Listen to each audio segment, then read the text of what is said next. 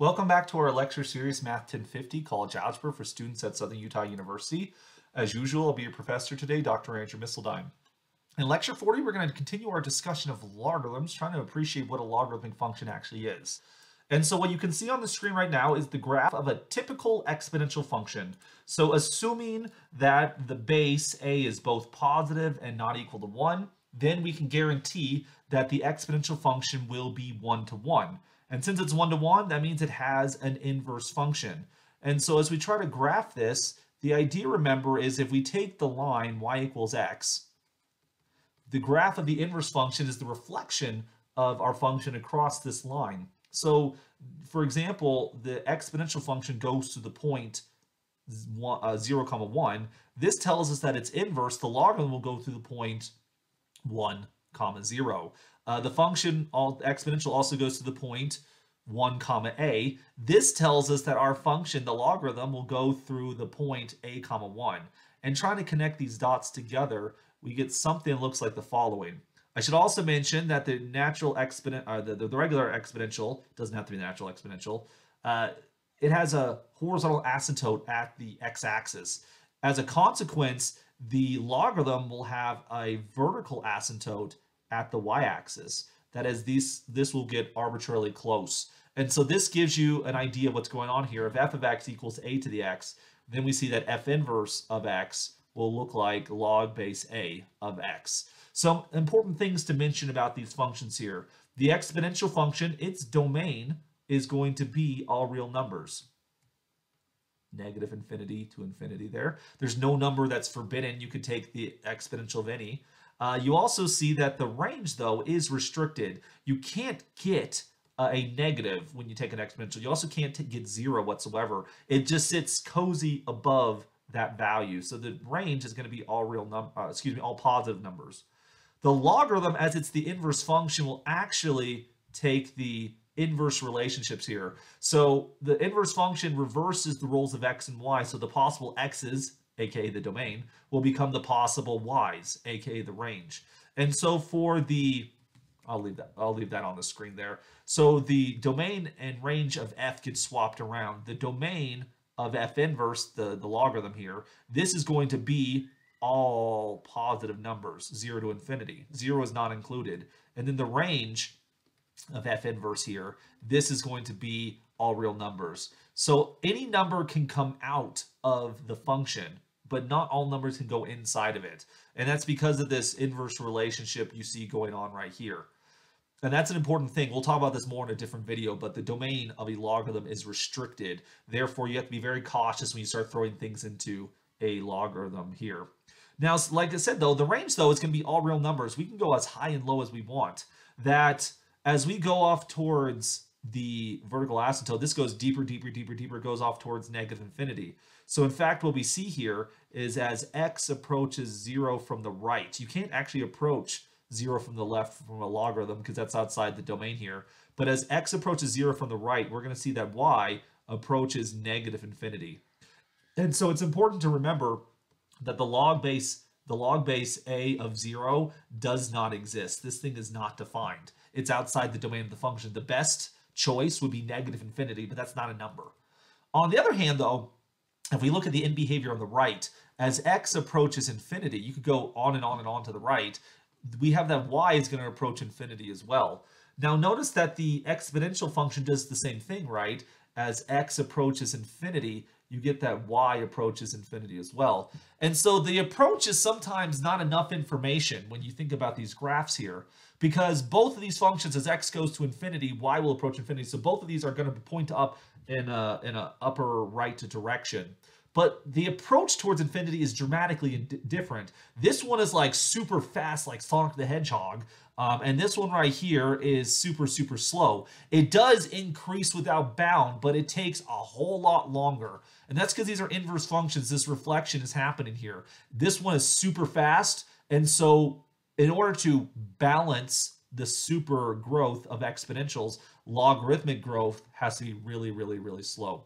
So I want to switch over to uh, Desmos here and graph some functions to show you uh, what the graph of a logarithmic function might look like.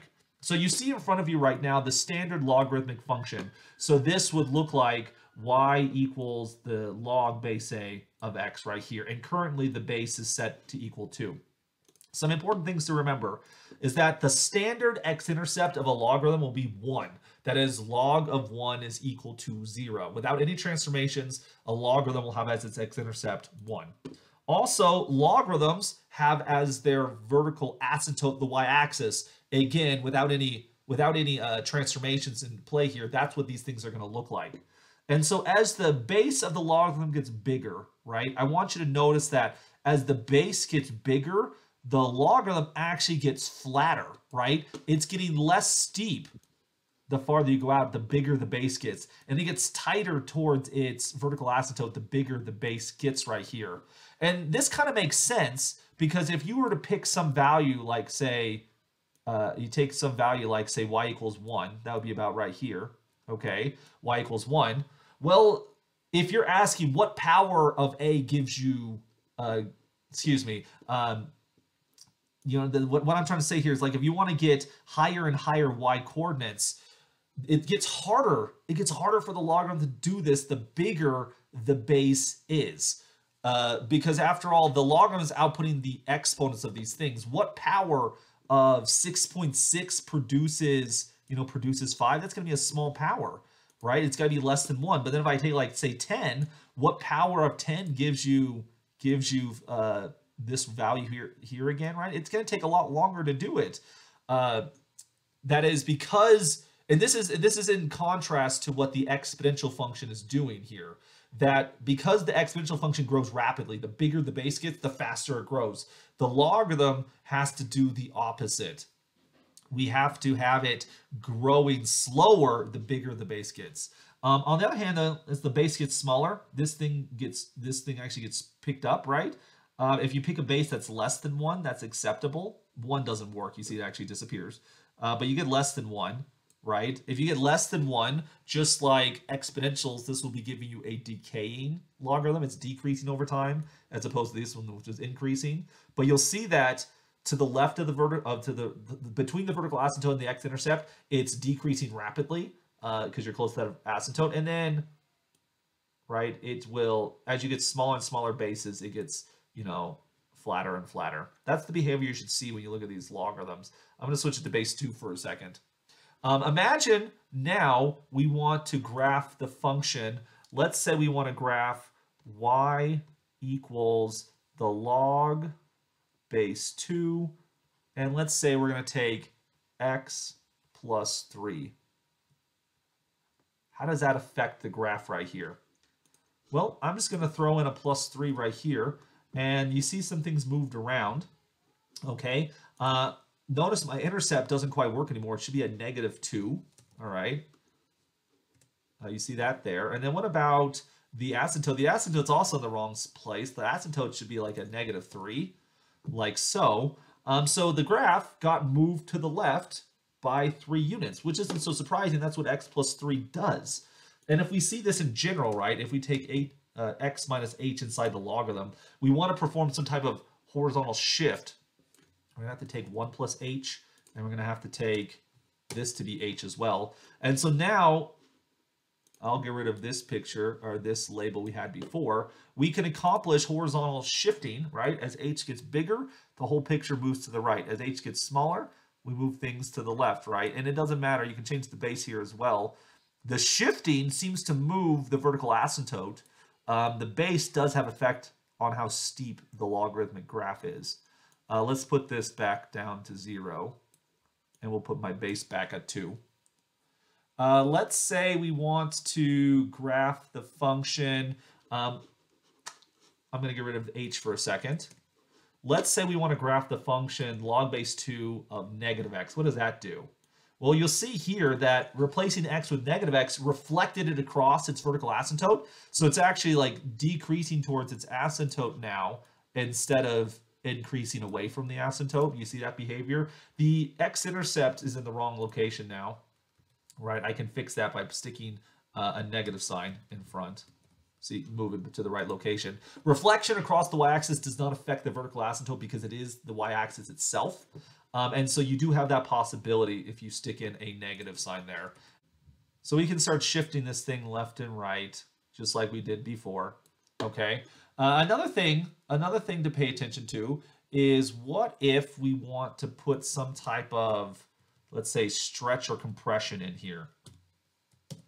Uh, let's put a capital B for the moment. What does that do to the graph? At the moment, it's set equal to 1. Um, if I if I change the B value, right, that does seem that does seem to be doing some type of stretch or compression, right? These are supposed to be doing vertical stretches or compressions, but you look at the graph, it kind of looks like a ver uh, horizontal compression or stretch is almost as if it's doing like a vertical shift, right? We'll actually talk about that a little bit later. It turns out that is in fact the case.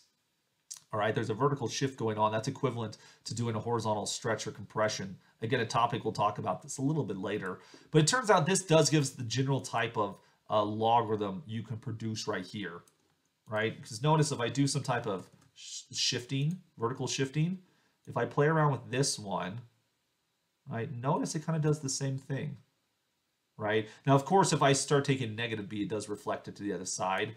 Um, this shift will never take that. So I think the I think the compression is a little bit better because it also incorporates all the possible all the possible reflections. But for the most part, horizontal stretches and compressions to a logarithm look the same thing as doing a vertical or a vertical shift up or down. And this gives us the general idea of a logarithmic graph.